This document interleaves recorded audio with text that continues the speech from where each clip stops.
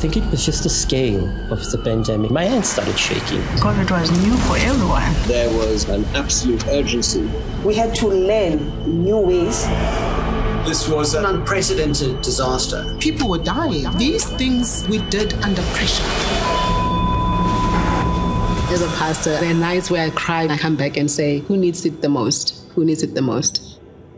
The idea was a fund that would bring business, government, civil society, labor together for one single purpose. I put my hand up saying I'm willing to help.